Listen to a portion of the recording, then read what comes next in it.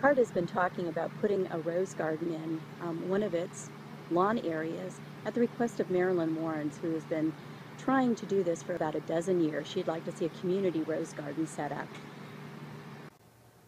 Just behind the CARD center is a lawn area that is being considered for the rose garden, but that's something that will have to be decided not only by CARD but also by the park commission because this is part of Bidwell Park as well as the city.